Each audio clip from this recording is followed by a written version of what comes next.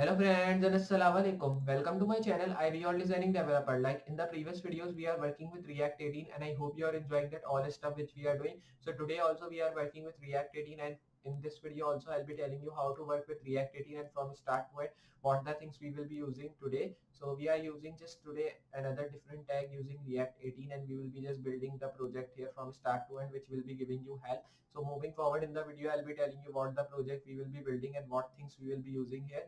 So it will be just used by React 18 but it should be really different project like previously on we have just uh, installed Bootstrap in our React 18 and we have also made table using Bootstrap then we have also learned about like how to use bootstrap and react 18 like that all this stuff. But and then after that we have also learned about nested loops as well which in which i've telling you about some of the tags like button tag a tag which are called nested loops so i will be coming up with more nested loops video because there are not two nested loops which i've telling you. There are many many of them but i've telling you some of the main nested loops which are not used by some of the people when they are building this website or projects here. So today also we will be just now working with react 18 tag and i'll be telling you what the tag we will be using from start and what things this will be including. So remember to hit a like to this video and if you are new on the channel hit the subscribe button. After subscribing hit notification bell as well so you can just see my all the coming up future videos and you will be notified with that. And also remember to just see my previous videos like I've covered a JavaScript tutorial from start to end. It will be giving you help. So just now we'll be starting with our video and seeing how to just build this project here and what things we will be using in this React 18 project. So just like I've telling you, we'll be just building the project using React 18 and I hope you will be enjoying today's project. So today I will be telling you how to just build nest a nested list and what is nested list in React 18. Like in the previous video, we have learned about nested loops and we have also learned about export app. So in this video, I will be telling you what is nested list and how to use it so for using nested list here i will be opening my vs code and my uh, google you can say this uh, Microsoft Edge browser because I am using this browser as my default browser. So here I will be now erasing all these files which I will be needing because now we will be not needing that these are the previous files which we are working when we were working with our previous video. So for working with nested, uh, just you can say for working with nested list, you have to create a list. Like in the previous video of nested loops, we have just worked about two loops. One was our button loops and then second one was our a tag loop. So in this video, we'll be not working with any loops. We'll be working with list. List so for working with list here you have to now move down and you have to create an unordered list first of all. And when you've created this unordered list in this unordered list i will be creating a list. Here i will be writing home. You can see we are getting the home here. And after getting the home you have to now just make here more different tags so we can get our list moving. So you can see here we are getting many lists. Save this so we are getting the list here. You can also set the list by the number as well if you want to give number to your list. So like these are the navbar menus which i have built. So here i will be now writing home services and then here i will be now writing blog. So these are the navbar menus which we are getting in any normal website here. So here these are the list which i have written. And then i will be moving here and giving it the heading here. And in heading i will be now writing like navbar menus. Like this i will be giving heading save this so you can see we are getting the navbar menus heading.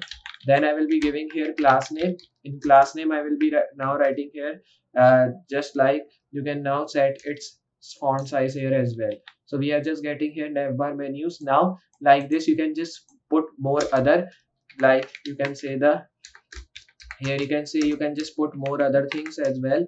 So i will be moving here. Then you have to write p tag in p tag like i've just written here navbar menus. So you can just write here any other thing as as well. Like here i've written navbar menus. You can write here food list like this.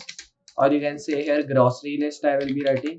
And after writing grocery list you can now make ul tag again. And in ul tag you can now write here your list. And in list you can now write your grocery list which you want to write. Like here i will be writing apples. Then you have to now just do one thing move down and here after moving down just you have to now make here mangoes like this. Then after creating just you have to make here this tag. Then after making this uh, like you can say list here i will be moving. Then i will be now just writing here vegetables like this.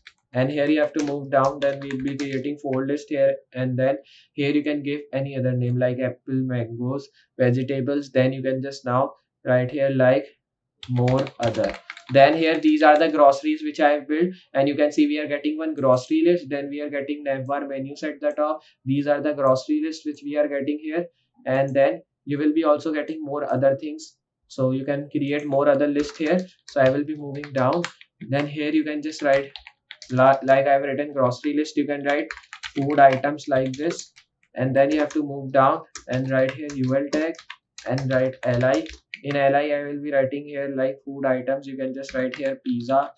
Then i will be now just writing here li tag in which you can just write here like burgers. Then here you can write price so here i will be now writing like this. So here you have to move down.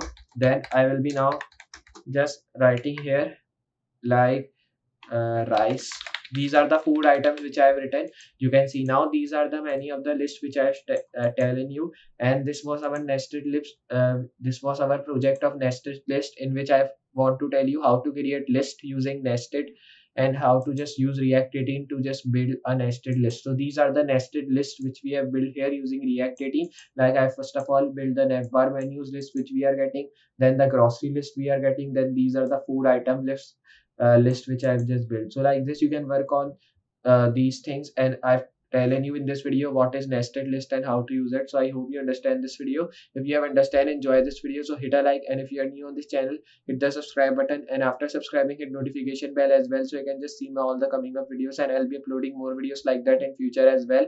So remember to check that out if you have hit notification bell. And also share this video so more people can learn and they can take benefit of these amazing things. So just i'll be meeting you next project. So for today good bye